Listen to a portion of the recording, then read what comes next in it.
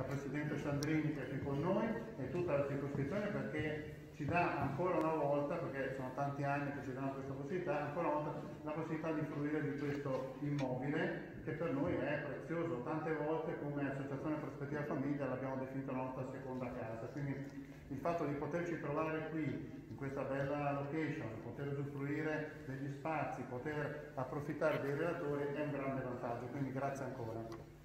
Detto ciò, eh, è la prima serata di cinque serate che faremo i quattro venerdì di aprile e il primo di maggio, ovviamente. I temi sono quelli che sapete della geopolitica. Questa sera parleremo del ruolo della Cina, un eh, grande colosso orientale, che cosa sta facendo, come si muove, eh, se ne parla ma non troppo, quindi sta, si sta occupando dell'altro intanto che noi europei eh, ci stiamo impelagando in questa, in questa guerra che, che è in corso quando è stato organizzato questo incontro non era ancora scoppiata la guerra, quindi avevamo messo il tema della Cina. All'inizio della serata il dottor Crivellaro, che poi presenterò, farà una breve digressione anche sul discorso dell'Ucraina, non si può non citare, anche perché, come ho detto nel, come scritto anche nella, nella locandina, verrà fatto proprio un parallelo tra l'Ucraina e Taiwan. Faccio un, proprio un, un cenno, stasera la mia responsabile mi diceva che abbiamo problemi nel rifornimento dei computer e soprattutto dei microchip. Guarda caso, la più importante società produttrice al mondo di microchip è a Taiwan. Okay? I successivi incontri quali sono? Li riepilogo velocemente, poi passiamo al tema della serata. Mercoledì prossimo ci sarà l'avvocato Magrassi che è esperto in questioni USA e quindi parlerà di USA, il ruolo dell'amministrazione Biden nell'attuale situazione politica. Mercoledì 20 ci sarà il professor Verzè, che penso conoscerete, che parlerà dell'Unione Europea e si porrà la domanda esce indebolita o rafforzata dal conflitto ucraino. Mercoledì 27 sempre l'avvocato Magrassi, guerra finanziaria e conflitti armati, il tema delle sanzioni, avrete sentito, sono bloccati i pagamenti in rubli, è vietata la negoziazione di strumenti emessi da società russe, eccetera, eccetera. Effetti, eh, effetti della guerra in Ucraina sugli equilibri, scusate, effetti della guerra in Ucraina sugli equilibri geopolitici mondiali. Ultimo incontro, quello del 4 maggio, che verrà tenuto sempre l'avvocato Magrassi e parlerà di giganti del big tech e sfide per la democrazia. Pensiamo al ruolo che ha avuto eh, Google piuttosto che Facebook, no, che ha tuttora in questo conflitto, no? il fatto che Google abbia oscurato con Google Maps determinate aree ucraine ha avuto il suo peso. Bene, veniamo al tema della serata. Abbiamo detto parleremo del ruolo della Cina, se ne parlerà una persona molto competente che è il dottor Lelio Crivellaro e il dottor Lelio Crivellaro ve lo presento, è nato a Mantova, eh, si è diplomato al liceo classico Scipione Maffei di Verona, eh, ha una laurea in scienze politiche e in diritto internazionale che ha conseguito all'Università degli Studi di Padova. È entrato al Ministero degli Affari Esteri, quindi ha, ha percorso la carriera diplomatica, ha ricoperto incarichi diplomatici consolari in 10 paesi sottolineo 10 paesi, di cui 4 in Medio Oriente, 3 in Europa e 2 in Asia. Credo che sia stato in Pakistan, è stato in Gran Bretagna, in Germania, in Egitto, se non ricordo male. È sposato con due figli che vivono all'estero, la figlia maggiore è a New York e lavora nel settore del consulting, il minore invece a Zurigo presso una vita internazionale di legge. Nutre interesse per la storia e la letteratura e la cultura olandese del Seicento, ha come hobby le penne stilografiche, gli scacchi e le auto d'epoca. Segue di sfuggita allo sport, tutti tranne il calcio. Bene, lascerei la parola a lui, la persona che vedete al suo fianco è, eh, per usare le parole di Benedetto XVI, un umile servitore nella vigna del Signore, cioè è mio amico Giancarlo eh, Nenadai che aiuterà nello scorrimento delle slide. Io vi auguro una buona serata, sono convinto che il tema, così come lo tratta il dottor Crivellaro, è di assoluto interesse e niente, buon ascolto. Ovviamente al termine, se ci sono delle domande, Ecco, apriamo un attimino il dibattito se ci sono punti che volete approfondire e di cui volete chiarimenti. Grazie.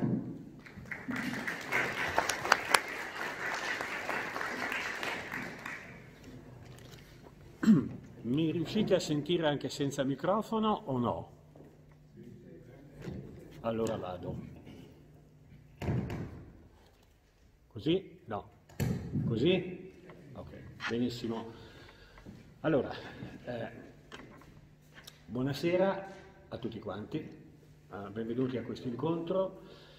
Eh, come ha detto il Presidente, mh, faccio alcune considerazioni eh, sull'attuale conflitto in Ucraina.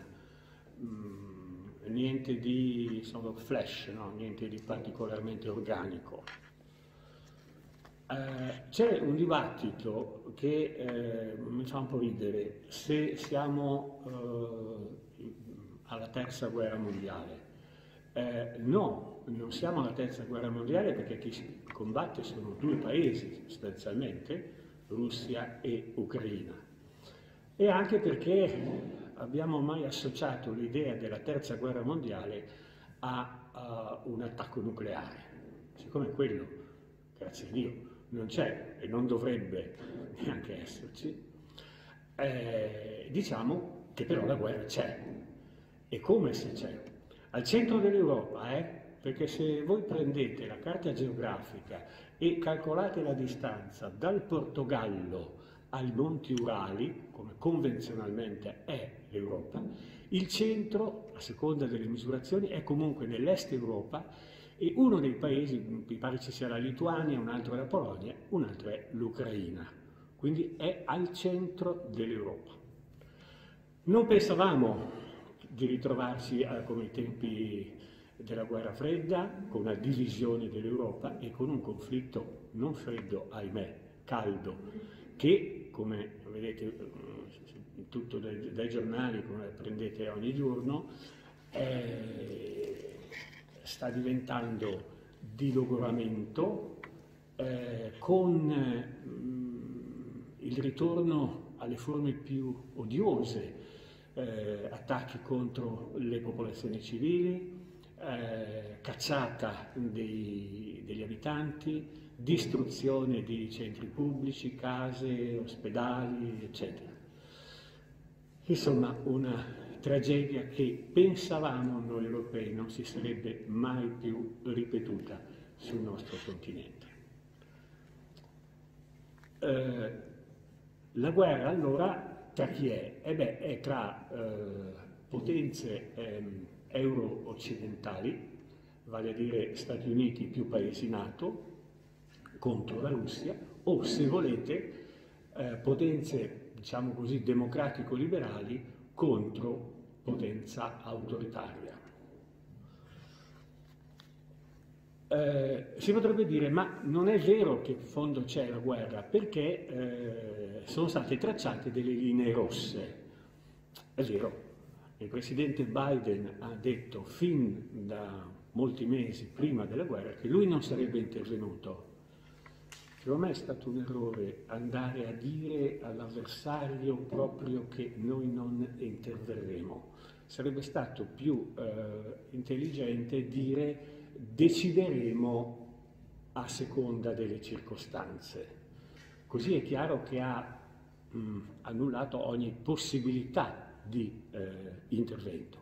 È vero, l'Ucraina non fa parte della Nato, non scattava l'articolo 5, quello che prevede in caso di attacco contro un paese della Nato l'intervento degli altri paesi a sua difesa e quindi in teoria mancherebbe il, il, il punto legale per un intervento degli americani. Linea rossa che non va oltre il confine orientale della Polonia linea rossa a cui si è attenuto anche Putin, perché avete visto che non ci sono stati attacchi, tranne uno a 35 km dal confine polacco. Credo che sia stato un modo per saggiare la reazione degli americani e credo che la reazione degli americani, eh, a parole evidentemente, eh, sia stata molto dura, come per dire eh, attento amico, non riprovarci a colpirci in quelle, in quelle zone lì. Però detto questo, eh, beh, eh, diciamo, se è vero che nessun soldato della Nato è penetrato in Ucraina, è anche vero che c'è un flusso di rifornimenti incredibile che sta andando dai paesi NATO eh, all'Ucraina ed è la ragione della particolare eh, capacità di resistenza che gli ucraini stanno manifestando in questo momento. Eh, non sono, non, solo gli americani hanno messo a disposizione 3,8 miliardi di dollari finora in armamenti, eh, non su altre cose, ma oltre eh, all'armamento ci sono anche mm, eh, azioni di cyber war, di appoggio, eh, informazioni raccolte attraverso droni e satelliti, eh, informazioni di intelligence, cioè di servizi. Tutti questi vengono passati agli ucraini. E beh, a questo punto è difficile dire che non ci sia una, una guerra in corso da una parte e dall'altra. Se c'è l'aggressione russa, è indubbiamente un'azione ignobile quella che è stata fatta da Putin, però dall'altra parte c'è una reazione giustificata, finché volete, eh, da parte degli occidentali a sostegno degli ucraini. Eh, facciamo una considerazione adesso. A questo punto si prevede che il conflitto continuerà, forse a lungo, speriamo di no, ma chi sono i vincitori di questo conflitto? Mm, beh, eh, è facile dirlo. Comunque vada a finire, vincono gli Stati Uniti. Senza sparare un solo colpo di cannone, gli Stati Uniti hanno ottenuto la, eh, dire, ricompattamento dell'Unione Europea e dei paesi europei della Nato, che adesso naturalmente spenderanno parecchie risorse per armarsi, comprando eh, materiale americano. Primo punto. Secondo punto, l'applicazione delle sanzioni, dure, ma attenzione, non decisive. La storia anche dimostra che sanzioni applicate, pensiamo a Cuba, pensiamo all'Iran, seppure non pesanti come queste rivolte alla Russia, non riescono mai a breve e forse neanche a lungo termine a colpire l'avversario. Cioè eh, un tizio colpito da sanzioni all'inizio almeno resiste perché deve resistere alle sanzioni, resiste perché fa appello a uno spirito nazionalistico del suo paese. Certo, soffrirà anche, ma non sono mai i dirigenti che soffrono, è la gente comune, questo dovunque. Eh, queste sanzioni, come sappiamo benissimo, non colpiscono però gli Stati Uniti. Gli Stati Uniti eh, diciamo, hanno orientato oh, l'applicazione delle sanzioni, la qualità delle sanzioni, ma eh, il peso maggiore lo subiamo noi europei, come eh, sappiamo oh, tutti e come vedremo anche prossimamente. Eh, il terzo punto è che eh, con il, il, il, blocco al gas, al, alle esportazioni parziale per il eh, gas mm, molto vicino alla totalità, tra poco forse per il petrolio, sicuramente per il carbone, gli americani riescono anche a, a venderci il, il gas naturale liquefatto Uh, purtroppo quattro volte il prezzo di quello russo. È una cosa che dobbiamo pagare per difendere la, la democrazia. Eh, va bene, non paghiamolo, però sappiamo che c'è anche questo eh, elemento. Era una cosa su cui aveva battuto tanto Trump per cercare di convincerci ad acquistarlo, adesso ci è riuscito Biden. Poi eh, c'è il rovesciamento della posizione tedesca, Zeitenwende si dice in tedesco, cioè la svolta epocale, da paese con la Merkel, ma fin dagli anni 70 eh, con, del secolo scorso, con Brandt, Schmidt, eccetera, c'era stata la Ostpolitik, vi ricorderete, no? e, e, ed era poi con la Merkel il, la posizione dialogante, non bisognava mai prendere un atteggiamento duro, con la Russia bisognava non, sforzare, non stufarsi mai di parlare, di, di, di, cercare di convincere, eccetera, siamo passati a un atteggiamento molto duro da parte del nuovo governo tedesco. 100 miliardi di euro per potenziare la difesa tedesca fanno della Germania il eh, necessario, eh, come dire, pilone della futura difesa eh, europea, con buona pace di Macron e delle sue vaghe idee sulla eh, difesa strategica, autonomia strategica europea di difesa. Ehm, le sanzioni sono molto dure, come ho detto, eh, si misurerà col tempo. Certo, a lungo andare la Russia non potrà, eh, non potrà resistere, però attenzione, Putin era molti anni che si preparava alla guerra e quindi eh, avrà accanton- accantonato delle riserve, avrà eh, preso tutte le precauzioni necessarie per cercare di resistere a lungo.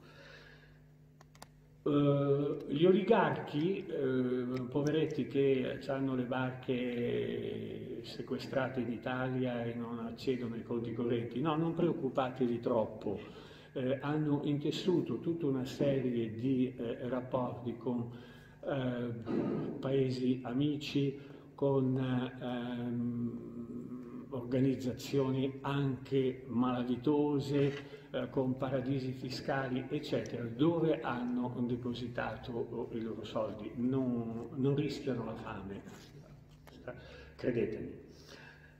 Ehm, adesso parliamo un attimo di cosa sta succedendo. Certamente Putin ha sbagliato i conti. Io non so se è stato ingannato volutamente dai eh, suoi servizi, sembra strano ma tutto può essere, o se non ci ha creduto ed è rimasto fisso sulla sua idea che Ucraina e eh, Russia fossero eh, un solo paese. Questo l'ha sempre pensato, la storia non dimostra veramente questo.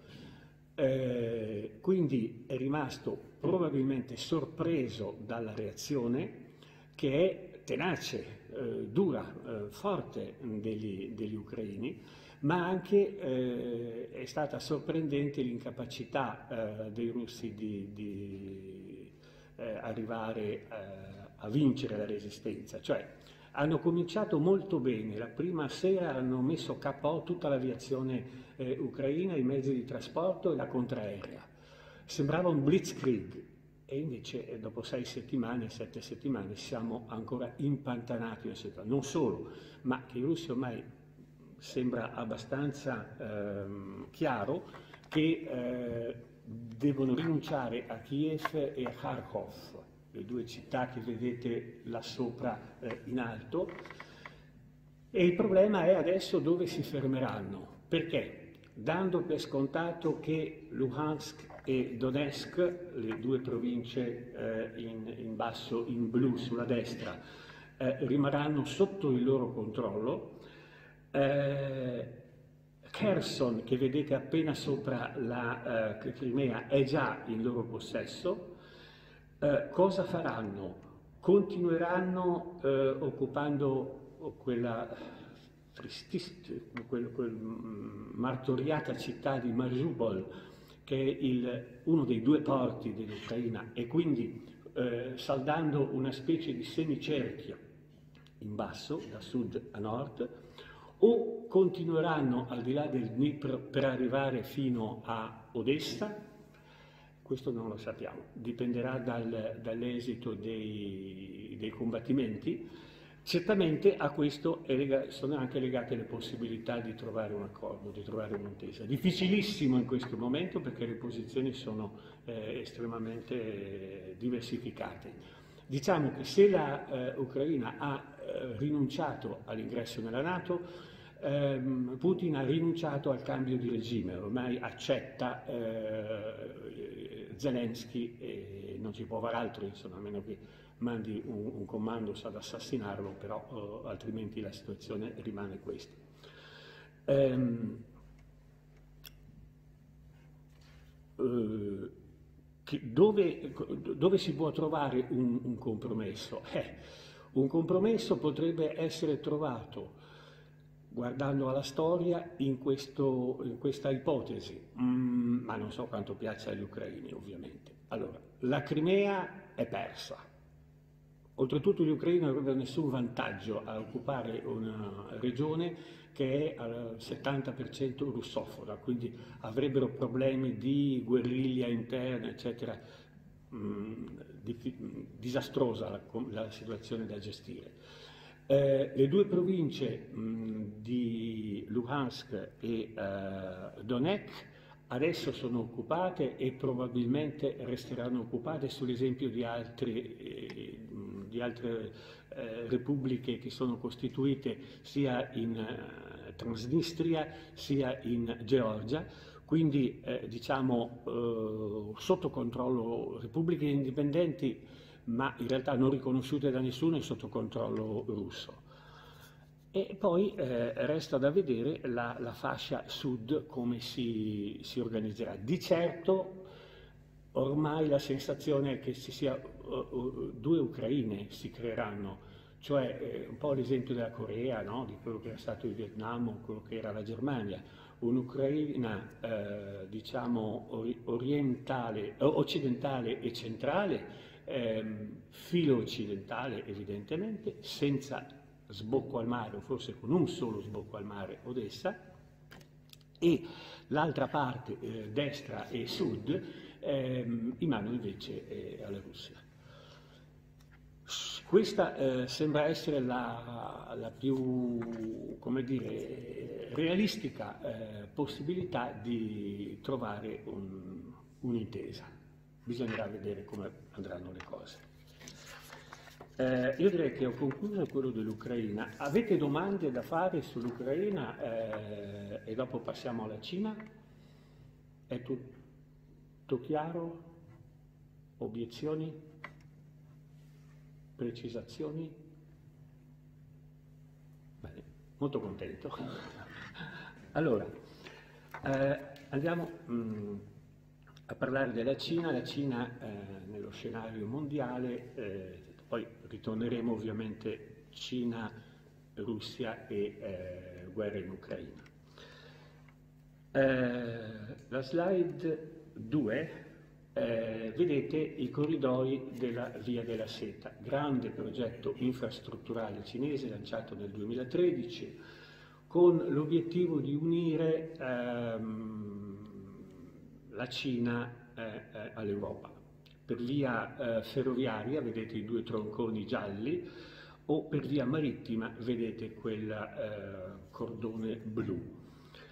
Eh, fu spacciato dai cinesi all'inizio come un, eh, un'operazione win-win, cioè in cui c'erano vantaggi eh, sia per la Cina sia per i paesi dove queste vie eh, sarebbero passate. In realtà si è scoperto che non è così, è un progetto cinese guidato dai cinesi, orientato dai cinesi, persino la manodopera in larga misura è cinese e se ci sono stati dei finanziamenti cinesi, come ci sono stati a uh, questi, cioè, determinati paesi per delle infrastrutture, ad esempio i porti, ehm, sono condizioni capestro, nel senso che gli si dà eh, un certo numero di anni per la restituzione del capitale prestato, se eh, questo capitale non viene restituito, eh, la proprietà di questo bene, questa, questa realizzazione logistica passa in mano ai cinesi. C'è un esempio in quel, vedete scritto uh, Colombo e vedete un cerchietto rosso no? attorno, eh, è lo Sri Lanka, c'è un porto in Sri Lanka, Hambatote si chiama, che è passato ormai sotto il pieno controllo cinese perché i eh, sri lankesi non avevano i soldi da restituire per il finanziamento di questo porto.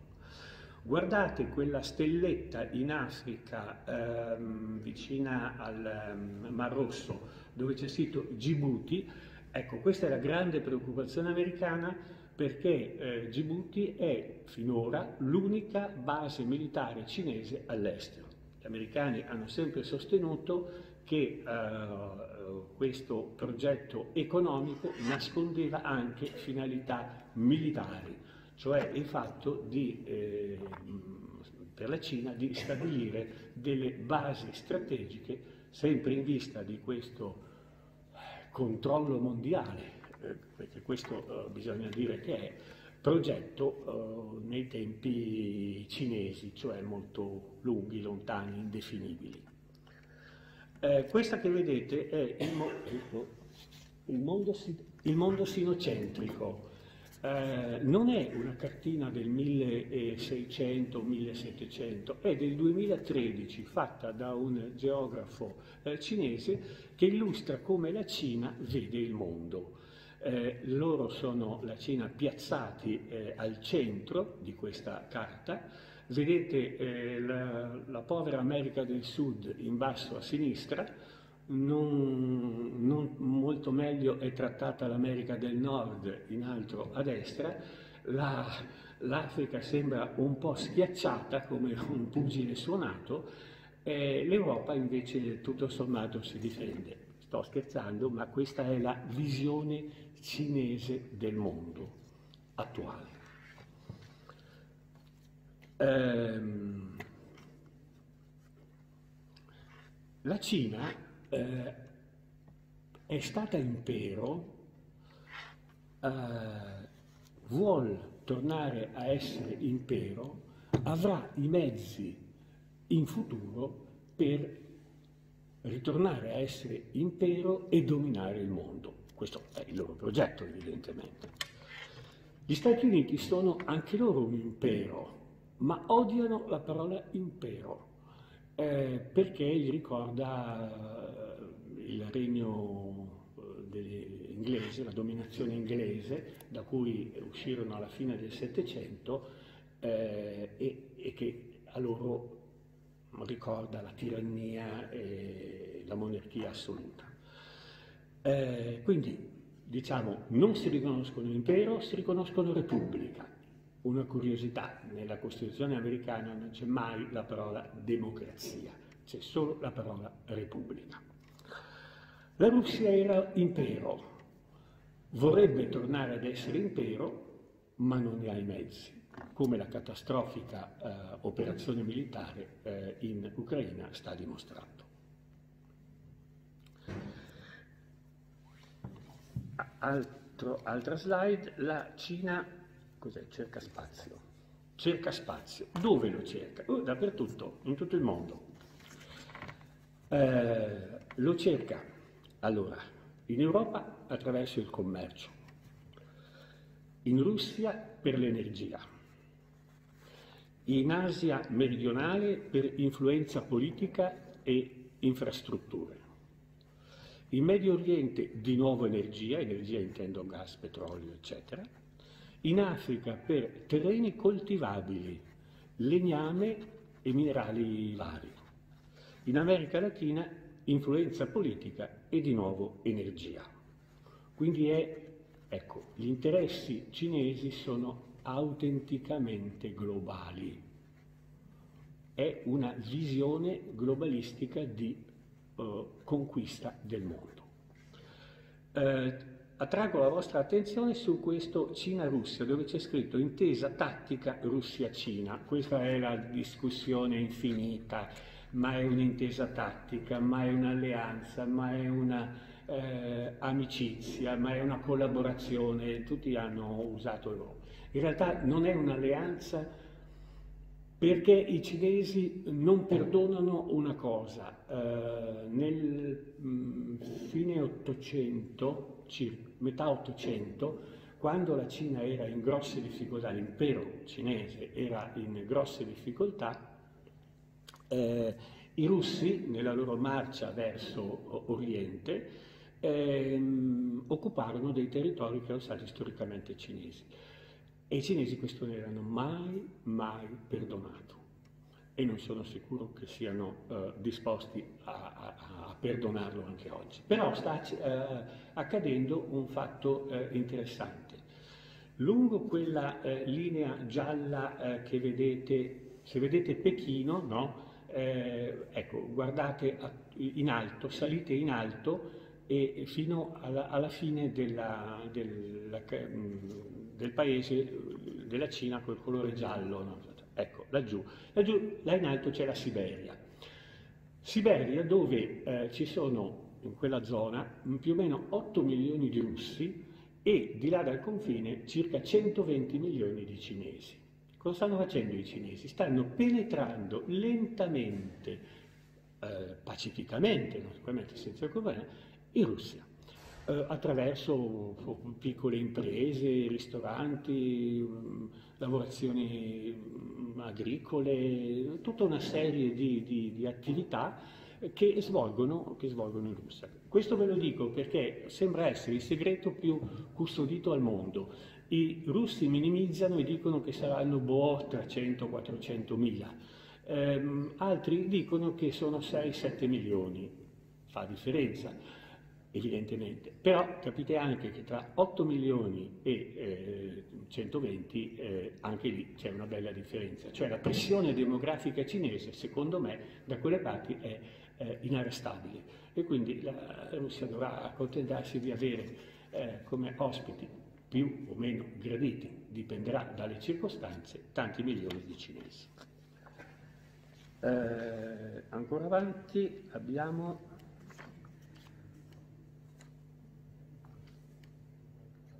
Cina cerca spazio.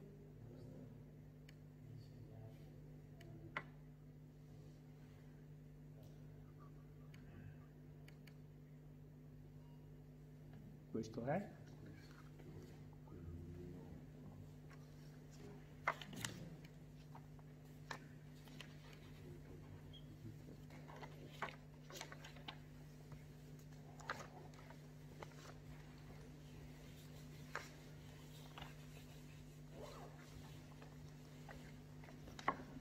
sia quello, l'impero americano e la sfida cinese.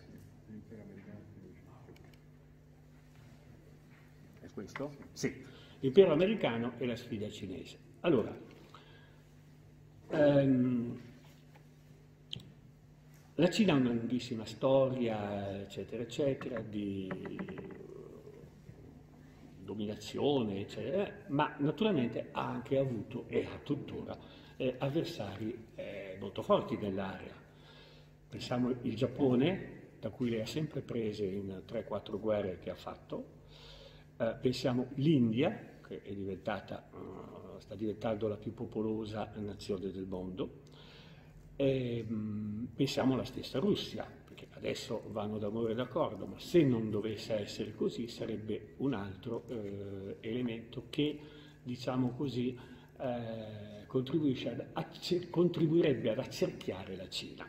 Voi vedete quella linea eh, nera, no? Ecco, quella è la linea di contenimento della Cina, secondo gli americani, perché ovviamente il rivale maggiore della Cina in questo momento sono gli Stati Uniti. Eh, La, gli Stati Uniti hanno messo in piedi uh, un sistema di alleanze, finora mh, due sistemi di alleanze, piuttosto uh, interessanti. Una che si chiama Quad, che è un'iniziativa quadrilaterale, niente di misterioso, e che mette insieme eh, India, Australia, eh, Giappone e Stati Uniti. E, eh, probabilmente tra poco si unirà anche la uh, Gran Bretagna. Ehm, sempre gli Stati Uniti eh, con eh, Gran Bretagna e Australia eh, avranno un altro eh, progetto, eh, AUKUS si chiama, anch'esso volto a contenere la Cina, l'espansione cinese. Come fa eh, come opera la Cina. Eh, la Cina eh, ha due carte importanti. Il commercio è la fabbrica del mondo, no? come eh, sappiamo tutti, e quindi una enorme capacità produttiva. Pensate, tanto per dirvi un, un, un dato, che il rapporto oh, commerciale, cioè um, import-export tra Cina e Stati Uniti, nonostante tutti i dazi, eh, contingentamenti, divieti applicati da eh, Trump e confermati da Biden, nella speranza di riequilibrare questo sbilanciamento, che aveva però anche lo scopo di frenare l'ascesa eh, cinese o la capacità esportativa cinese, Beh, dicevo, eh, non ha cambiato molto, ha cambiato i numeri nella quantità, ma il rapporto è sempre di 1 a 4, cioè gli americani esportano 1 e continuano ad importare 4 di materiali di vario genere da cinesi. L'altro elemento è la tecnologia. Anche qui è un punto di battaglia con eh, gli americani, sapete tutti, Huawei, la tecnologia 5G, eccetera, eccetera, eh, perché la Cina si è posta un traguardo intorno agli anni 2030 più o meno, eh, il conseguimento di una eh, superiorità tecnologica. Superiorità tecnologica, attenzione, non è fine a se stesso, perché la tecnologia ha tante applicazioni, una delle quali è ovviamente quella in campo militare. Quindi la supremazia tecnologica cinese si è raggiunta intorno al 2020, 30, sì, 30 qualcosa del genere, eh, rischia di eh, spostare gli equilibri verso la Cina anche nel settore militare. E in effetti eh, la Cina sta facendo enormi progressi dal punto di vista marittimo. Pensate che in pochi anni ha eh, superato gli Stati Uniti. Oggi la Cina ha circa 400 navi da guerra contro i 300 e qualcosa degli Stati Uniti. Probabilmente gli Stati Uniti sono, eh, sono navi più potenti, gli Stati Uniti hanno 11 portaerei a propulsione nucleare, la Cina non ne ha nessuno ed sta costruendo adesso la terza portaerei. Però però diciamo, c'è questo grosso, intenso sforzo di miglioramento e ammodernamento della flotta cinese. Dal, dal, punto di vista tecnologico non stiamo parlando solo di comunicazioni, il telefonino, eccetera, eccetera, ma di, anche di altre cose più complesse e importanti, il cyber war, la guerra tecnologica, le stazioni spaziali orbitanti, su cui i cinesi stanno lavorando. Guardate che è un progetto di mettere queste stazioni spaziali orbitanti, direte sì ma ci sono già, sì certo, ma i cinesi le vogliono anche armare in funzione di un possibile attacco contro la Cina. Se noi disponiamo di una eh, stazione spaziale orbitante armata, siamo in grado di intercettare i, i missili che malauguratamente dovessero piombarci addosso, dicono i cinesi. La Luna è un'altra cosa, avete eh, sicuramente letto che ehm, paio d'anni fa, mi sembra un anno fa, un anno e mezzo fa, i cinesi hanno mandato una sonda nella parte eh, nascosta della Luna. Eh, apparentemente è una cosa semplice, in realtà eh, spiegavano una cosa uh, complicatissima che testimonia un, un possesso della tecnologia notevole. Ma eh, i, i, cinesi non ci vanno per piantare la bandiera, ma per prendere minera, minerali rari. E lo stesso obiettivo è nel caso di eh, creare delle basi lunari, che loro hanno intenzione di fare, sempre alla ricerca di, questo, eh, di questi materiali rari, perché si sa che i materiali rari sono importanti per la tecnologia e, e le applicazioni militari e via di seguito. Se finora abbiamo parlato della espansione cinese, adesso possiamo oh, dare un'occhiata allo strangolamento cinese.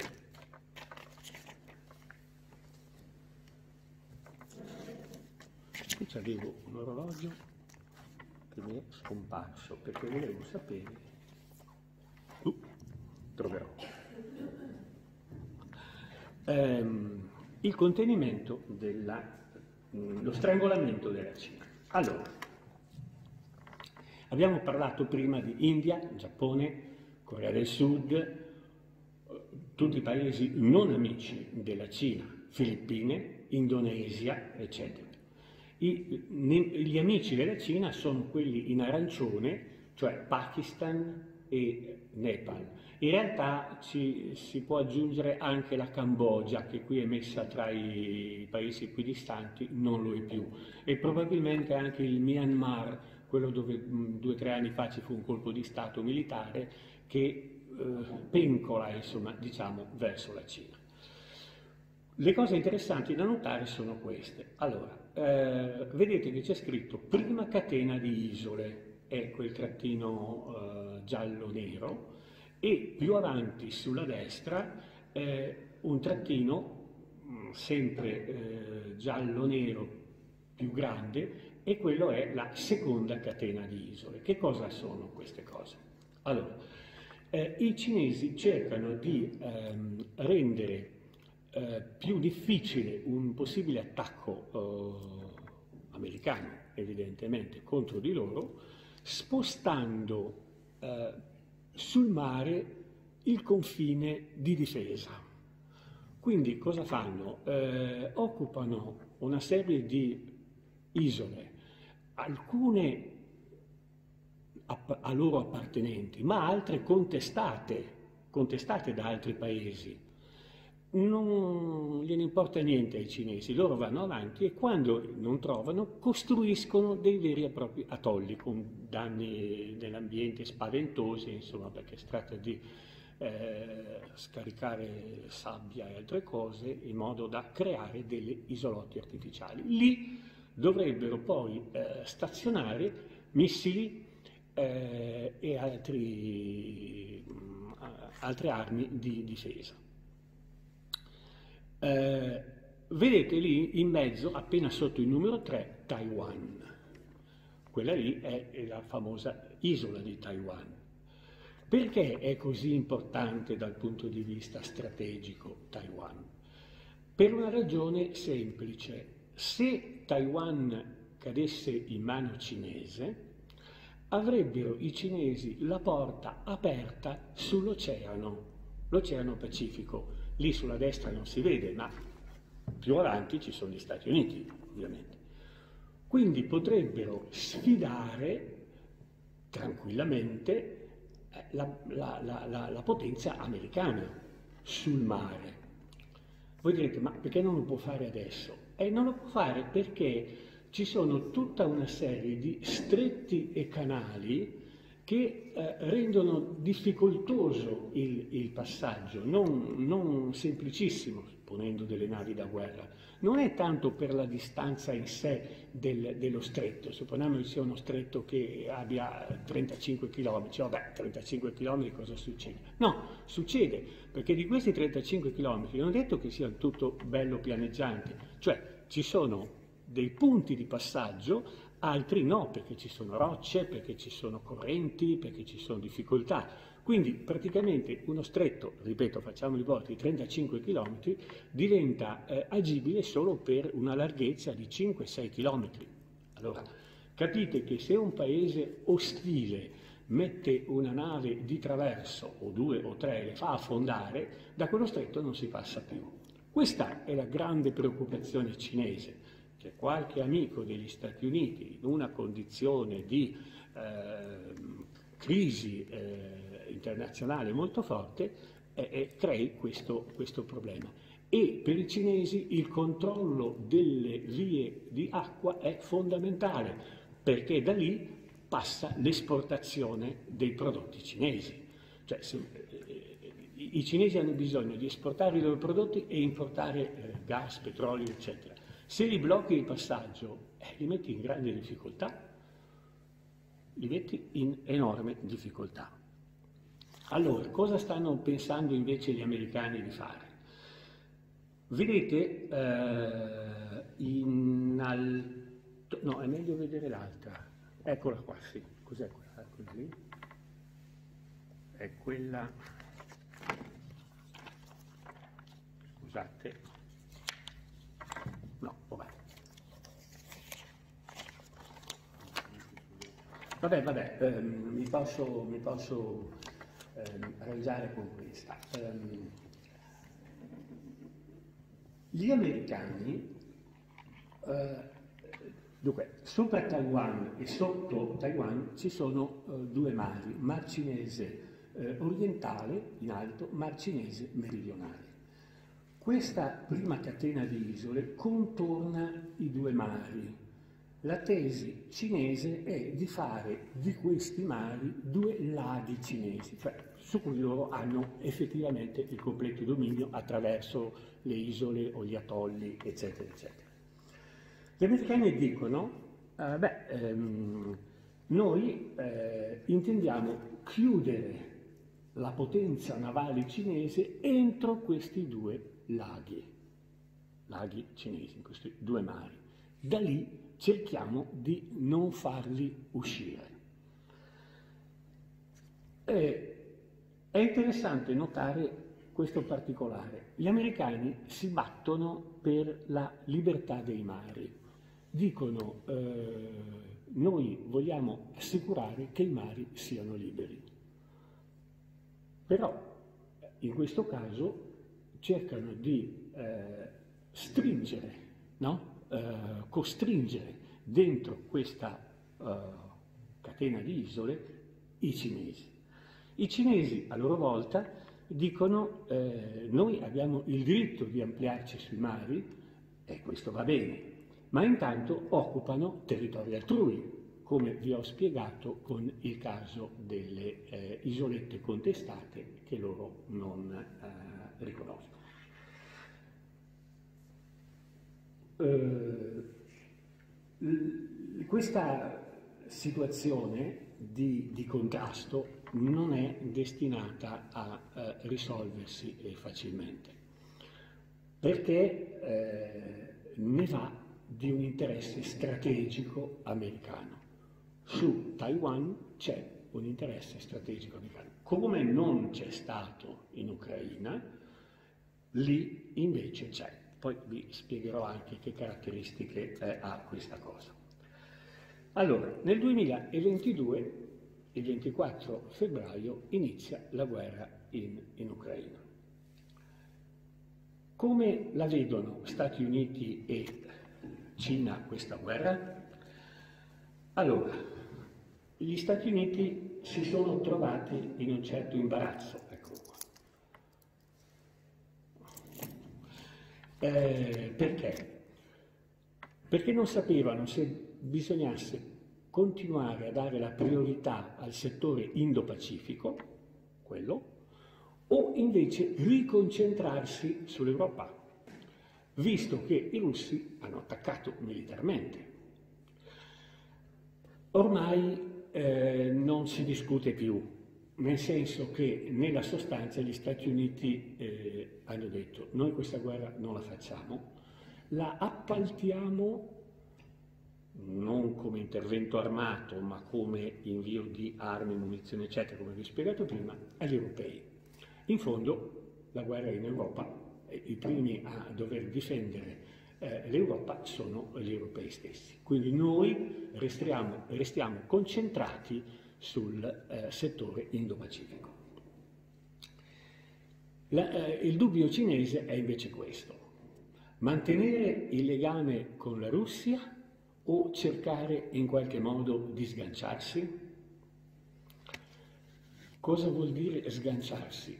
Vuol dire non eh, ehm, legarsi eccessivamente a questa amicizia di cui eh, ho parlato prima con eh, la Russia. Perché? Se è vero che eh, i cinesi sono, hanno, hanno, appoggiato eh, l'azione russa eh, criticando la Nato e criticando gli Stati Uniti, eh, non hanno apprezzato l'operazione militare, assolutamente in privato ovviamente.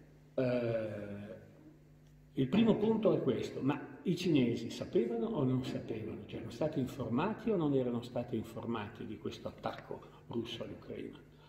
Perché noi diciamo, se erano stati informati sarebbero complici del pasticcio che eh, si è venuto a creare. Se non eh, erano stati informati, sono stati traditi dai russi.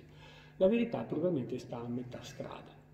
Cioè, eh, nell'incontro del 4 febbraio tra Putin e Xi Jinping, Probabilmente eh, Putin accennò, ma in maniera vaga, eh, a questa ipotesi, ma mettendola così tra le cose che possono succedere, eccetera, eccetera, non dando eh, modo all'altro, all'interlocutore, di capire che invece c'era qualcosa di molto concreto e molto serio e in preparazione da tempo. Perché la Cina eh, non, vuole, non, ha apprezzato l'operazione militare? Perché la Cina vuole stabilità, stabilità all'interno e stabilità nel campo internazionale. All'interno perché a novembre ci sarà eh, il congresso nazionale del partito cinese, Xi Jinping verrà eletto per la terza volta eh, leader supremo del, della Cina, prima, prima volta di un leader eletto tre volte, e quindi ha bisogno di assoluta eh, tranquillità al suo, al suo interno. All'estero ovviamente per i commerci, perché evidentemente senza eh, ogni operazione militare eccetera disturba i traffici, dà fastidio, crea problemi eccetera eccetera. Non piace neanche il riconoscimento di queste repubbliche indipendentistiche. La Cina non ha riconosciuto l'annessione della Crimea uh, alla Russia, perché eh, è un segnale contrario a quella che è stata sempre la sua politica, politica di immutabilità dei confini da un lato e non ingerenza negli affari interni dei singoli paesi. È rimasta sicuramente costernata dalla incapacità militare russa. Credeva che la Russia avesse fatto progressi interessanti solo dal punto di vista militare e invece si è ritrovata un, un, un gigante che si è impantanato eh, in maniera incredibile in, eh, in Ucraina e non ne sta andando fuori. Ma soprattutto la Cina è portatrice, come vi ho detto prima, di eh, interessi globali. La Russia non è così. La Russia ha interessi parziali in aree particolari, cioè il Medio Oriente, il Nord Africa, il centro Asia, eh, l'estero vicino, come chiama le repubbliche, eh, la Moldavia, la Bielorussia, l'Ucraina, eccetera, eccetera. E, mm, e quindi la sua eh, azione è limitata, l'azione russa diciamo è limitata. Per di più, per di più eh, in caso di stringere questa alleanza, la Cina si troverebbe ad avere un peso, cioè la, la, la Russia mh, escluse le, le, i 6.000, se sono 6.000, ehm, le 6.000 ogive nucleari che possiede, non ha molto altro, sapete, non ha molto altro da offrire. Come ehm, prodotto interno lordo è un decimo di quello cinese. La Russia è pari alla Spagna più o meno, insomma, come eh. L'industria mm, è arretrata, scarsa, non, non, non, ha degli, tranne ovviamente il settore energetico, petrolio e eh, la capacità militare. Però è, è un peso che eh, la Cina non accetta di ehm, condividere mm, perché eh, ritiene che non sia assolutamente nel suo interesse.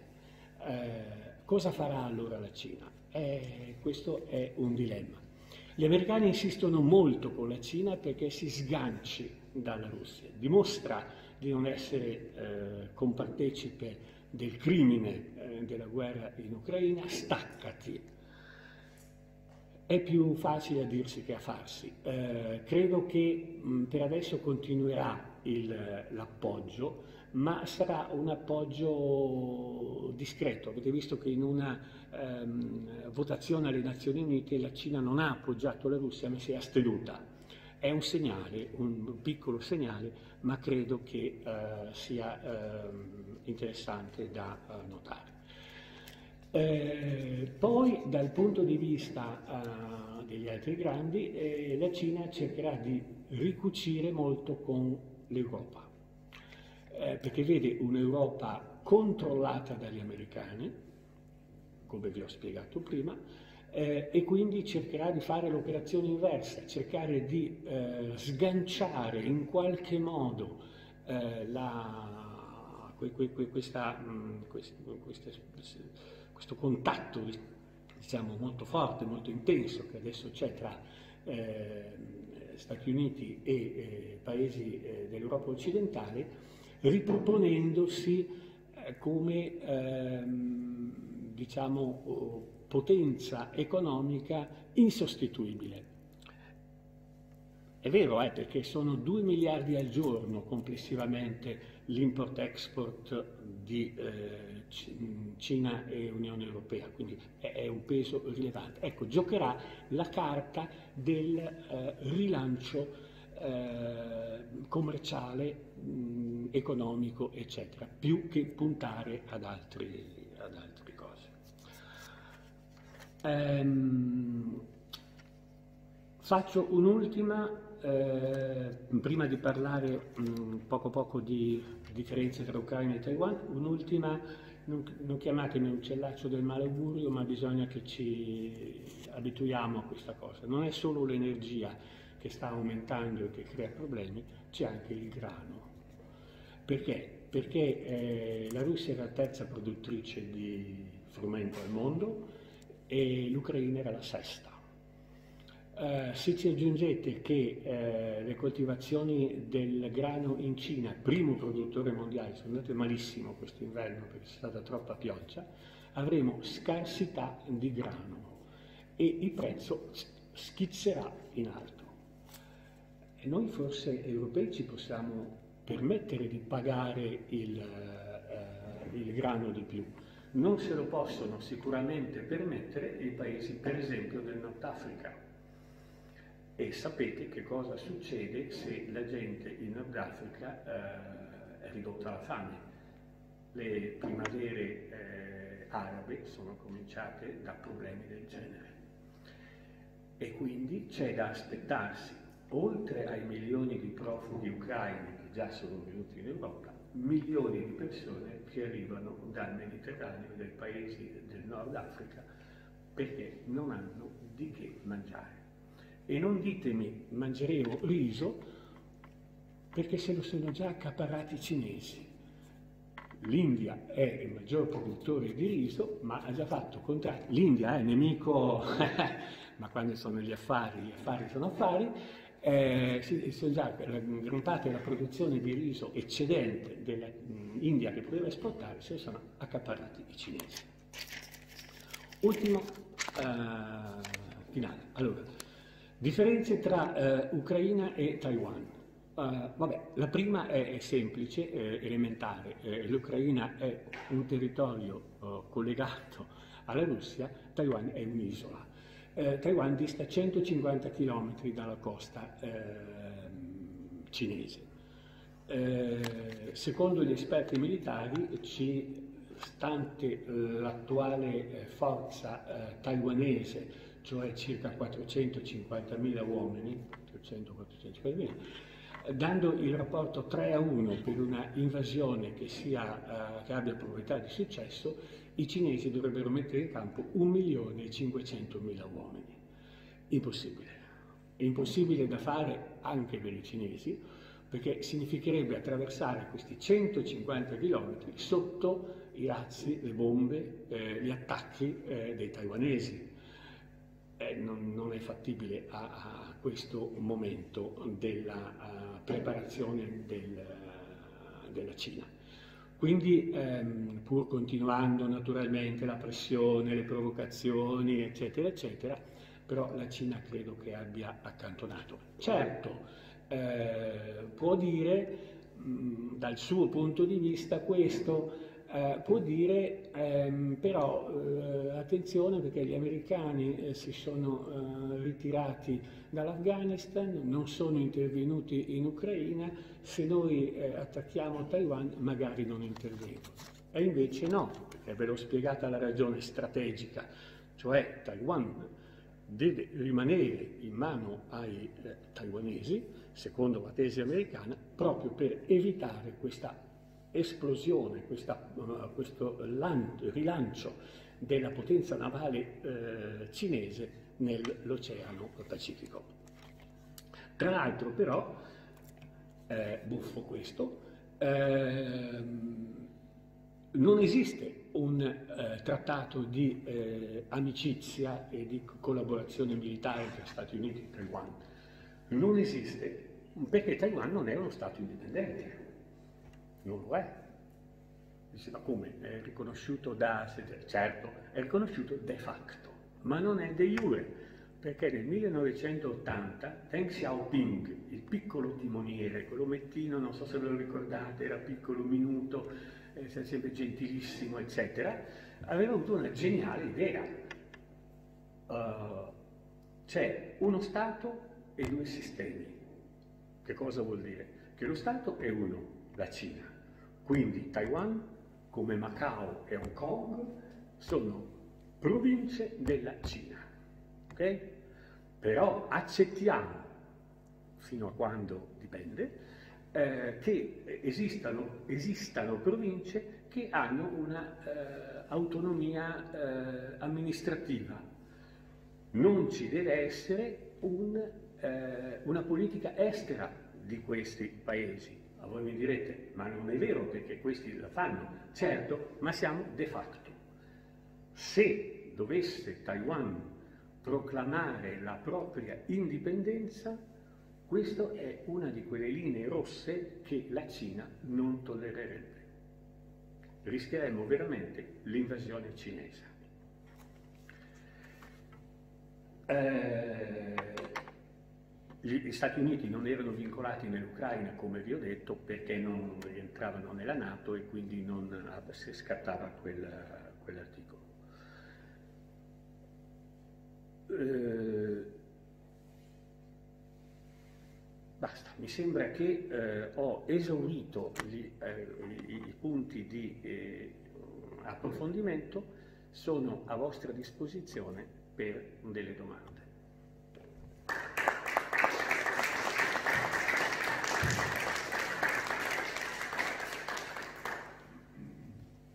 Bene, ci sono domande da parte del pubblico? Non posso portare il microfono là, quindi se parla a voce alta... No, voce, ma fino adesso abbiamo visto per quanto riguarda l'Ucraina le colpe russe e gli errori di Putin. Eh, la, sento, la sento male. Gli errori, gli errori degli americani e dell'Occidente per quel che riguarda la crisi russa. Eh. Che non ha molto enunciato negli ultimi otto anni, dal 2014 in poi. Quanto hanno pesato Bella domanda, bella domanda. Eh, hanno pesato parecchio. Allora, eh, la cosa va vista storicamente. Eh, 1991 cade eh, l'Unione Sovietica. Eh, I paesi ex satelliti ehm, sono ben lieti di essersi ex satelliti vuol dire eh, Polonia, Ungheria, Cecoslovacchia, Romania, Bulgaria, eccetera, sono ben lieti di essersi liberati dal dominio comunista. Cosa fanno questi paesi? Oltre a naturalmente eleggere liberamente i propri governanti, eccetera, eccetera, chiedono l'ingresso nella NATO. Eh, la Nato accetta inizio delle trattative, eccetera, eccetera, ma tra il 91 e il 2004 tutti questi stati ex satelliti, comprese anche le tre repubbliche baltiche, ma che facevano parte dell'Unione Sovietica, ma che in realtà hanno una storia un po' diversa, ehm, entrano a far parte della Nato. Qual è il ragionamento di Putin? Putin dice, ma se la Nato fu costruita per eh, fronteggiare l'Unione Sovietica. L'Unione Sovietica non c'è più. Noi abbiamo disciolto il patto di Varsavia, voi scegliete la Nato. In verità Putin chiese di aderire alla Nato, ma fu rifiutato perché voleva la parità di condizioni con gli Stati Uniti, cosa che gli Stati Uniti non volevano assolutamente dare, perché in quel periodo, 1990 e anni successivi, la Russia, la nuova Russia, era in enorme crisi, la guerra cecena, eccetera, i rivolgimenti interni e compagnia. Quindi c'era una duplice pressione, quella dei paesi ex satelliti che volevano agganciarsi alla Nato per avere la sicurezza che in caso di una guerra la Nato, gli Stati Uniti, li avrebbe difesi. Ma c'era anche l'interesse americano di spostare sempre più a, Occide, a Oriente il confine, cioè fare il discorso inverso l'azione inversa di quella che Stalin aveva fatto alla fine della seconda guerra mondiale quando era arrivato eh, fino a, a, Berlino, Berlino Est insomma. Eh, e quindi la concomitanza di queste due operazioni eh, ha comportato questo, mm, questo allargamento della Nato ad est. Tutti gli storici sono d'accordo nel dire che fu un errore la precipitazione con cui, NATO, eh, con cui la Nato decise di assorbire questi paesi. Si sarebbe dovuti, dovuto probabilmente attendere, si sarebbe dovuto forse selezionare eh, dei, dei, paesi, eh, trovare delle formule che potessero garantire diciamo, a, alla Russia eh, la, la, la sua sicurezza. Il problema è che allora si pensava che la Russia fosse in preda a una crisi irreversibile. Dicevano che era uno scatolone sfondato da prendere a calci. E allora, sai, in questa occasione, in questa situazione, diciamo, la tentazione era troppo grande. Anche dopo, anche, anche, allora, allora, andiamo avanti, andiamo al 2014 eh, con la rivolta di Maidan, con l'insediamento di un eh, governo eh, filo-occidentale, fortemente filo-occidentale, che i russi non eh, accettavano, non, non, non, tolleravano. Qui non è che c'entri di per sé la Nato, c'entrano i paesi della eh, Stati Uniti e paesi dell'Unione Europea che hanno aiutato eh, l'Ucraina. Questo eh, comportamento è stato da Putin ritenuto intollerabile, in, inammissibile. Secondo me lui aveva una fobia della Nato, no? probabilmente più di quello che la Nato davvero potesse costituire o potesse rappresentare. Però da lì è nata questa eh, profonda avversione e questo eh, desiderio di, di, di, di, riportare all'ovile la... Ma vi dico un altro, c'è un episodio che è molto interessante. Nel 1994 a Budapest fu, a, scusate, sì, a Budapest, fu eh, stipulato un, un, un'intesa in base alle quali tre ex stati dell'Unione uh, Sovietica, sì, territori dell'Unione Sovietica, cioè diventati nel frattempo indipendenti, Bielorussia, Kazakistan e Ucraina, appunto, cedevano le armi nucleari che esistevano sul loro territorio. Le cedevano a chi? Alla Russia. Perché? Perché si riteneva che dandole alla Russia si fosse più sicuri che non lasciandole a questi paesi di nuova indipendenza, che chissà qualche terrorista poteva impossessarsi di queste armi atomiche e fare un eh, disastro globale. Questo accordo fu eh, firmato tra questi tre paesi e i cinque membri del Consiglio di sicurezza, Stati Uniti, Russia, Gran Bretagna, Francia, Cina. Furono date delle garanzie molto chiare e molto precise che questi paesi non sarebbero stati vittime di un'aggressione, non sarebbero stati eh, minacciati, la loro indipendenza era garantita da questi cinque. Giusto? Che cosa successe? È successo che eh, le garanzie diventarono assicurazioni, le assicurazioni diventarono, ma sì, tendenze di fondo, quando nel 2014 Putin eh, si prese la, Crimea e le due repubbliche separatiste, nessuno disse niente, nessuno tirò in ballo dicendo ma qua c'è una violazione chiara e manifesta di quell'accordo del 94. Addirittura Putin rovesciò la, la patata, no? dicendo, la frittata, dicendo eh, eh no, ma mh, mm, quella uh, ucraina filorussa che nel 94 firmò l'accordo non c'è più, adesso c'è una Ucraina fascista, occidentalizzata, eh, eh, che noi non riconosciamo. per noi non, non, non c'è. Quindi quell'accordo che fu firmato con quella Ucraina non vale più per noi. Assurda come tesi, però c'è stato.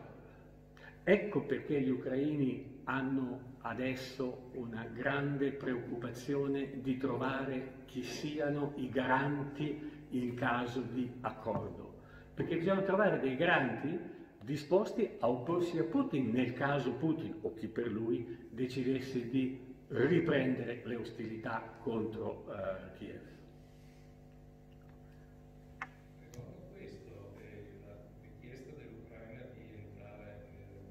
Può togliere, scusi, la mascherina. La richiesta dell'Ucraina di entrare nella comunità europea, sì.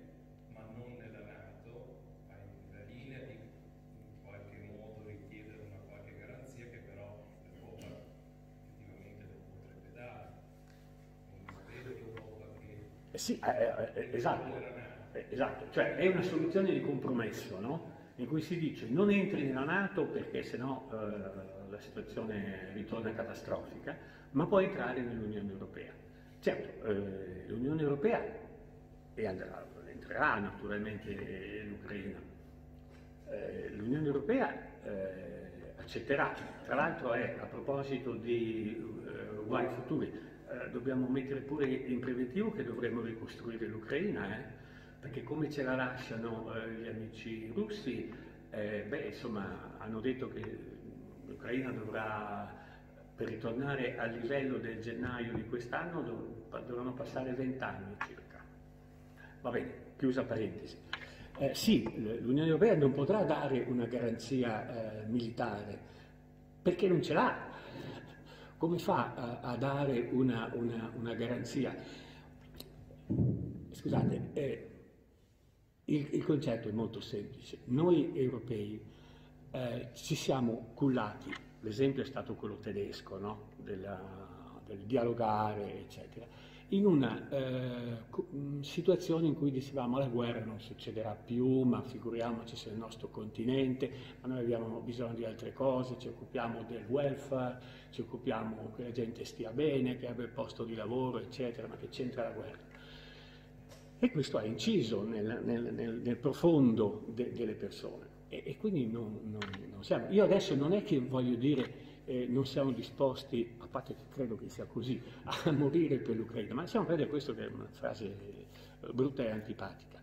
Non abbiamo più uno spirito bellico, non, non, non, si costruisce dalla sera alla mattina uno spirito di dire eh no, ma lì dobbiamo porre dei picchetti insormontabili e lì non deve passare nessuno e lì dobbiamo pretendere che gli altri lo rispettino. Non ce l'abbiamo.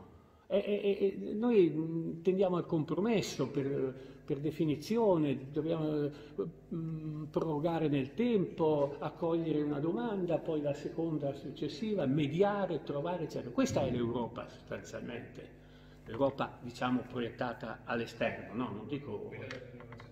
Come? Quella del 1938. sì, eh, solo che l'Ucraina si sta eh, difendendo meglio della Polonia.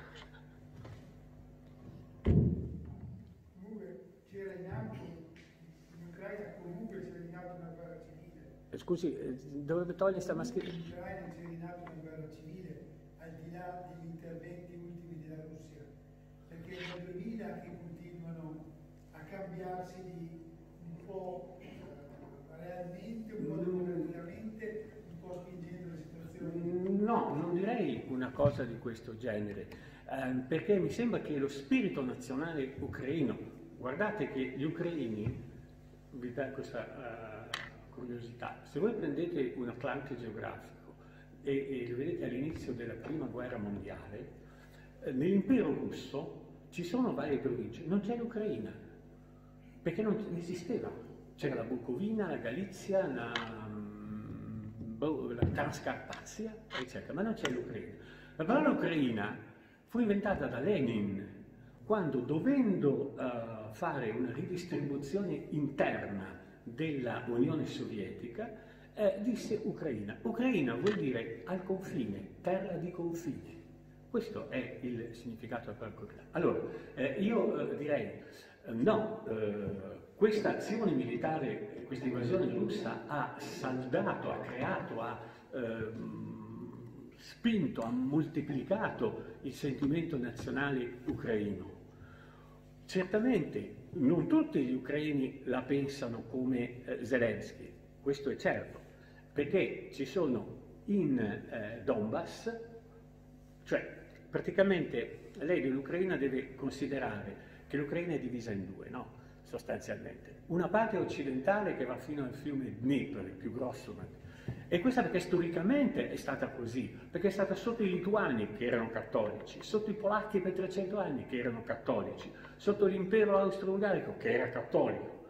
E dall'altra parte, invece, al di là del fiume, i, ehm, i territori russi, diciamo, che erano eh, non cattolici ma ortodossi, ma anche come composizione. I, i, i primi a sinistra erano eh, anche commercianti, eh, agricoltori, e gli altri erano soprattutto impiegati nelle miniere di carbone, ferro, eccetera. Quindi c'è una divisione precisa dell'Ucraina e questo siamo d'accordo. E quindi i sostenitori della Russia sono di là, sono al di là del, del, del. Questo è vero. Però dire che ci sia in corso una guerra eh, civile, di, diciamo una guerra civile eh, però eh, con i confini ben precisi, ecco. No, che dicevo, ben prima del 2014, ben prima della Crimea, comunque la storia politica dal 2002, dal 2004, 2005 è sempre stata un po' altalenante. Sì, sì, sì, verissimo, verissimo, verissimo. Verissimo, verissimo. C'erano governi filocomunisti e filorussi, e, sì, certo, c'era eh, Kravchuk, Kuzma, eh, Kuzma eh, sì, sì, verissimo, verissimo, verissimo. Certo, certo. In che, che è un po' di civile. Sì, sì, sì. E l'ONU adesso è. L'ONU? Chi, chi, mi sa dire chi è il segretario generale delle Nazioni Unite? Sì, bravo. Qualche altro? Eh? Antonio Guterres, portoghese. Penso questo basti per far capire. No, lui niente. Non ha, finché esiste il diritto di veto, è paralizzata per definizione. Adesso si, la cosa viene utilizzata dai russi, poi verrà utilizzata dagli americani, verrà utilizzata dai cinesi, verrà utilizzata da chi ne ha bisogno. Quindi un'azione universale delle Nazioni Unite su temi veramente eh, politici particolarmente importanti, perché se, su, sull'ambiente siamo tutti d'accordo, per carità, eh, ma su questioni politiche precise non arriveranno mai a un Come la accordo. maggioranza assoluta in Europa, Sì, esatto.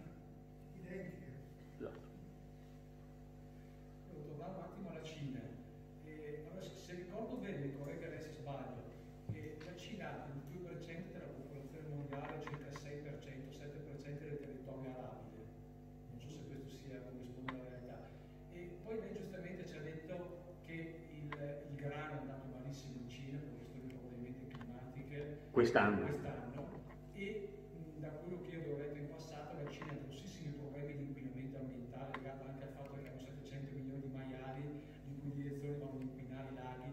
Allora mi domando, un paese con queste problematiche ambientali, lei ce l'ha descritto come un paese che si sta molto espandendo militarmente e tecnologicamente in giro per il mondo, ma ha dei progetti, dei programmi per il rispetto ambientale? Perché alla fine dobbiamo fare tutti i conti con l'ambiente, compreso loro per riqualificare la loro terra inquinata, le falde acquifere inquinate, perché è una popolazione che ha bisogno di un territorio non più così inquinato, non respirava neanche più a pochino tempo fa. Quali sono i programmi in questa direzione della Cina? No, guardi che la Cina però eh, ha un eh, doppio record. È uno dei paesi più inquinanti del mondo, continua a esserlo, carbone per esempio, eh, ma è anche uno dei paesi all'avanguardia su certi settori del verde.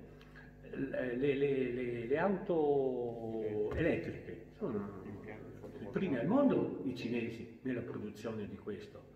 Cioè, mh, ci sono delle contraddizioni profonde di un paese enorme, eh, un miliardo e 400 milioni di persone, capisce? C'è, un'enormità di, di, di, di, situazioni. E quindi è l'uno e, e l'altra cosa, insomma. Certamente eh, ragionerei la, necessità di... Eh, però Pechino, da quello che so, non è più così inquinata come... Eh, dico bene? Eh, non è più così inquinata come era una volta che sembrava... Certo, ci sono altre zone della, della cosa, ma pure la Val Padana è, una delle zone più inquinate del mondo. Pure, sì, riescono a fare progressi veloci. Solo sugli impianti, sugli impianti solari, energia solare, stanno costruendo il più grande eh, diciamo, impianto al mondo. Dove?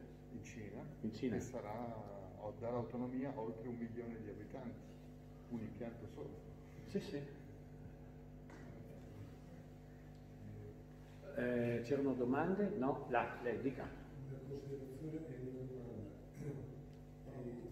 La considerazione è quando sono, ci sono state le Olimpiadi quest'anno, l'unico invitato è stato Putin, è stato invitato eh, ufficialmente fatto che la Cina non sapesse cosa fosse stesse accadendo in Ucraina eh, mi fa un po' pensare. Eh, non so lei come la pensa in questo, in questo senso. In quell'occasione, carità, io, pens- io ho pensato nella mia profonda ignoranza, ecco che eh, Putin va a invadere l'Ucraina e poi lascerà campo libero alla Cina per fare lo stesso Taiwan. Lei però ha dato delle risposte dove ci sono difficoltà completamente diverse. Eh sì, sì, sì, sono situazioni diverse. Beh, sa, quello sarà, eh, quello di cosa si sono detti Xi e Putin sarà uno dei segreti più custoditi della storia, nel senso che non sapremo mai, e poi anche se venisse fuori dirà no, non è vero, eccetera, eccetera. Ho letto questa storia di questo compromesso che secondo me potrebbe essere, eh, cioè, quello gli ha accennato vagamente e l'altro, ha capito, ha fatto finta di non capire, tutto, tutto è possibile. Però sicuramente ehm, la Cina aveva fino all'ultimo sconsigliato ehm, l'attacco militare e aveva anche mh, detto che loro erano per la pace e eh, contrari a ogni iniziativa bellica, eccetera. Poi hanno detto anche che c'è un'amicizia senza limiti, no? tra i due paesi, ma non è vero perché c'è ragioni storiche e ragioni attuali che eh, fanno in modo che non sia senza limiti questa amicizia, deve avere dei limiti questa amicizia. E la domanda, questa è una considerazione, la domanda è all'interno del, della società russa invece, eh, quanto, è, quanto c'è di appoggio reale nei confronti di Putin e quanto questo potrebbe minare la sua, la sua, Chi può rispondere a questa domanda? No, eh, eh, no, eh, eh? I censori russi. I censori russi. No, è difficilissimo. Cioè, la mia impressione è che quanto più va avanti questa guerra, tanto va peggio che Putin, no? Perché non è solo una questione, è questione di morti. Le ultime statistiche dicono che tra morti e feriti i russi hanno avuto 20.000 morti, eh, scusate, 20.000 mm, fuori combattimento, diciamo, militari fuori combattimento, non tutti morti, 7-8 mila. Eh, se pensate che in Afghanistan, 10 anni di guerriglia, eh, eh, i russi hanno perso 25.000 uomini, e beh, insomma adesso ne hanno persi un terzo in eh, poco tempo. Ehm, quindi ecco, è questo fronte interno silenzioso perché non può manifestarsi, perché se manifesti eh, rischi di avere fino a 15 anni di prigione, eh, vieni preso dalla polizia, schedato, eccetera, eccetera. Questa eh, operazione silenziosa però secondo me eh, prosegue. Io per esempio sono convinto, adesso um, non entro nel merito di quello che è successo a Bucia o in altre località, francamente aspetto di sapere di più, anche se tutte le, indicazioni sembrerebbero portare eh, ad essere eh, opera dei, dei russi. Io sono convinto, anche se non ho delle prove ovviamente, che non siano uh, stati veramente i russi, ma siano stati mercenari al, uh, al, al, al, soldo dei russi. I ceceni, guardate che i ceceni sono da una parte e dall'altra, eh? i ceceni sono sia contro, eh, sia con Putin contro gli ucraini e sia con gli ucraini contro Putin. Quindi ehm, sono, sono, come degli afghani, cioè gente ehm, tradizionalmente guerriera, eh, fierissima, difficilissima da piegare, eccetera. Ma anche altri siriani che ricambiava il favore che ha fatto ad Assad, eh, si parlava anche di Hezbollah libanesi, eccetera. Cioè, ehm, cosa voglio dire questo? Che forse reparti russi si sono rifiutati. Sarebbe interessante sapere se ci sono state diserzioni e quante, e secondo me ce ne sono state parecchie, o proprio rifiuti di andare a, a, a prendere quel territorio. Um, D'altra parte è comprensibile, se fino al giorno prima Putin ha detto che ucraini e eh, russi erano più che fratelli, scusate, eh, cosa succede? Allora, adesso tu, tu, mi hai fatto tutta questa propaganda dicendo queste cose e poi adesso io devo andare a sparare a quello che tu dici essere mio fratello? Eh ma cercatene un altro.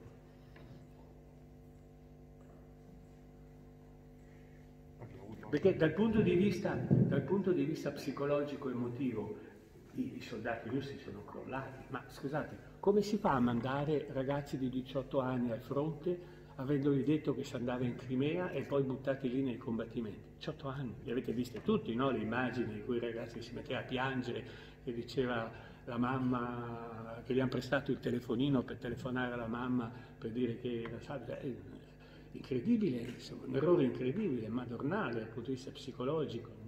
Non, non c'è preparazione, non c'è stata preparazione come anche la tecnica militare, ma scusate, è tecnica militare della seconda guerra mondiale, cioè vai avanti con i carri armati senza appoggio di fanteria, senza appoggio di aerei, e gli altri che hanno gli armamenti occidentali, quei micidiali lanciarazzi no? che colpiscono sia aerei che ehm, carri armati, li hanno massacrati. Io non so quanti carri armati i russi abbiano perso, 2000, 2500 sicuramente.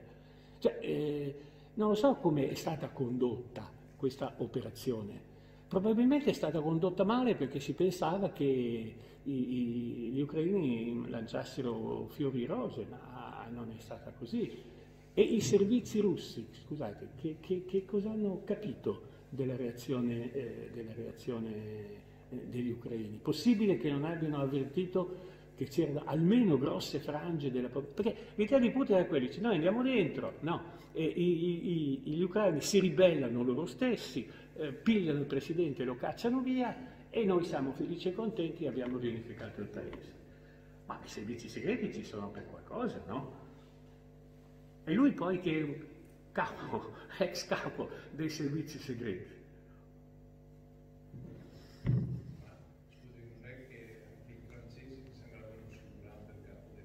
Anche? I francesi avevano assicurato il capo dell'intelligence perché... Ah sì, sì, sì, sì. Sì, sì, sì, sì ho, ho, letto, ho letto che... Gli Stati Uniti sì. hanno proposto a Zelensky di espatriare, quindi sì. che ci sia stata effettivamente una serie di, cose previste anche da... Ma anche, anche Zelensky era imprevisto, cioè voglio dire, è un ex attore che fino al giorno prima, scusate, era oh, sulla lista nera de, de, degli occidentali, perché era considerato corrotto, eh, incapace, tutte cose probabilmente vere, ehm, che, che, rubava eh, i fondi, eccetera, eccetera, insomma.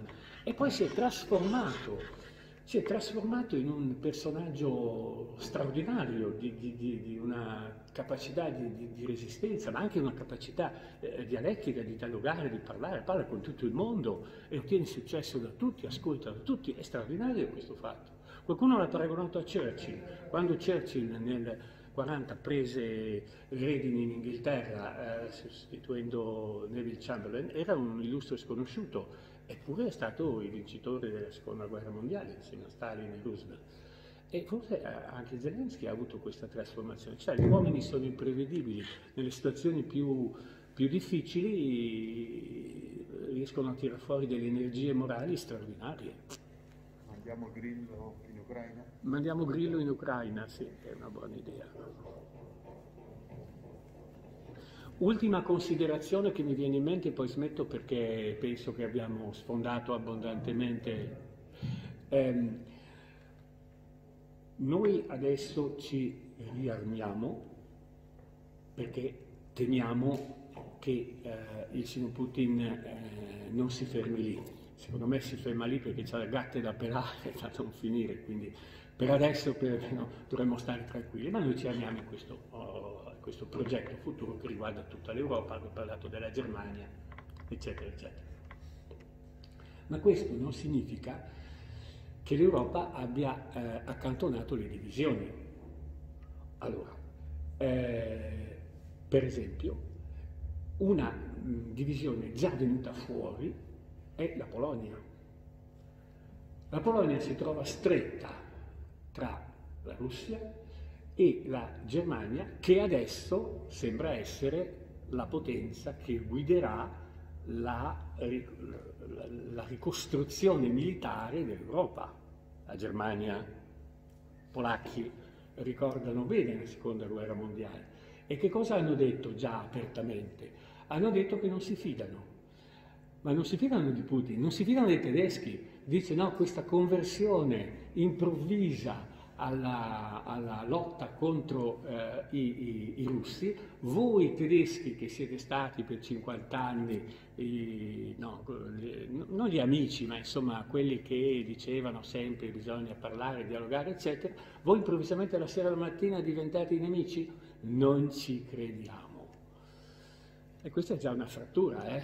perché la frattura tornerà, perché poi anche noi siamo dalla parte, di, cioè, voglio dire, parlate con la gente e dice sì sì va bene questa guerra a un certo punto finirà, quando finirà poi dobbiamo eh, ricominciare a mettere insieme i commerci perché ci danneggia, non ci danneggia solo il gas, non ci danneggiano solo eh, eh le sanzioni, ci danneggiano anche le controsanzioni russe, penso al settore agroalimentare, penso ai beni di lusso, no?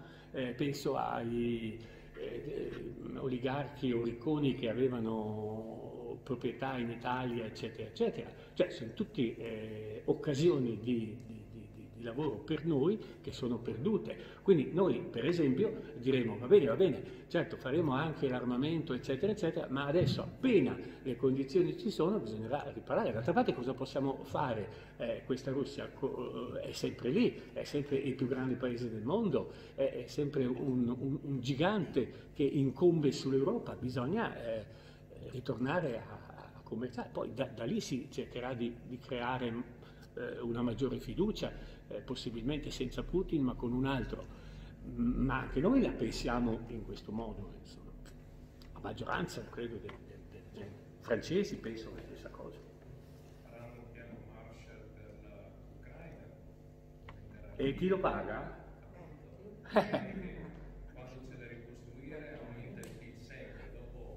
vi, vi, vi, dico subito il primo paese che viene a ricostruire, la Turchia.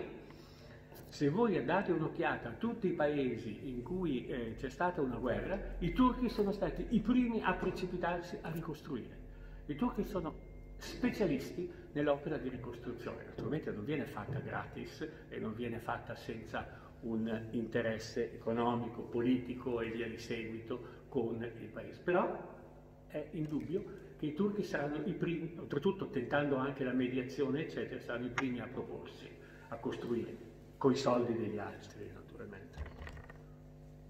Eh, le imprese turche non hanno eh, così, tanto, eh, così, tanta disponibilità, evidentemente, cioè si pensa a un piano Marshall giustamente europeo, giust- nella grande maggioranza,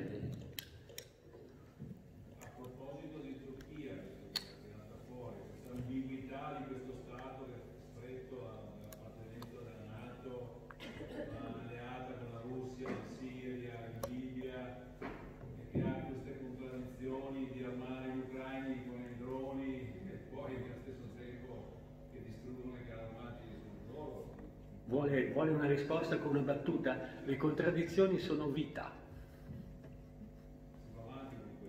No, è, è- è una contraddizione vivente Erdogan e la Turchia, perché da una parte e dall'altra, e ondeggia a seconda dei casi, e varia a seconda delle circostanze.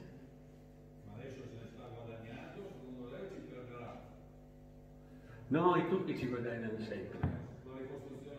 Sì, troveranno sempre il modo di, di guadagnarsi. Però è interessante che è una tattica militare del- del- del- dell'impero ottomano. I turchi, forse ancora prima, tribù turche, erano famosi perché attaccavano, eh, quindi pressione, no? azione, e poi improvvisamente si ritiravano. E quando gli altri pensavano che fossero scappati, riattaccavano ma da un'altra parte. Cioè è, è- sempre un'azione onnivora. La diplomazia eh, turca è, è impossibile da, da- da- da decifrare, insomma, perché ha i piedi dappertutto. Medio Oriente, eh, è, è una potenza eh, regionale che fa una politica globale.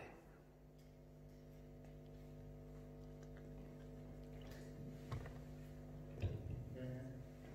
Allora abbiamo alla conclusione. Mamma mia, 10-25. Io direi grazie per aver partecipato, è stata una bella serata. Come abbiamo scritto nella locandina, non è assolutamente nostro interesse dire chi ha ragione, chi ha torto. Io penso che questa sera il dottor Pivellaro abbia proprio dato dimostrazione queste sono riflessioni e considerazioni che vengono messe al vostro servizio perché poi uno a casa ci ragioni, si costruisca il puzzle, no? e riesce a fare un disegno complessivo con tanti pezzettini e penso che questa sera i pezzettini sono stati messi tanti, dal militare al commerciale, al politico, al sociale, quindi diciamo a me è piaciuto molto tutto il disegno sul Mar Cinese meridionale, sul come si sta muovendo la Cina, la via della seta, il ruolo con gli Stati Uniti, questa situazione ambigua con la Russia, quindi insomma ognuno penso che dovrà riuscire a casa, si porta a casa una serie di pezzettini e poi a casa sua con la sua testa si fa il suo passo.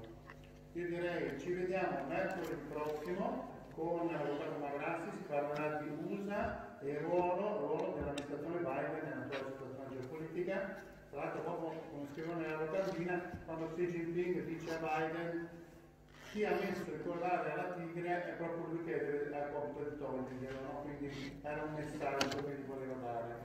Eh, ne parleremo appunto la settimana prossima. Io ringrazio il dottor Pivellaro per una esposizione davvero completa e esaustiva. Grazie ancora.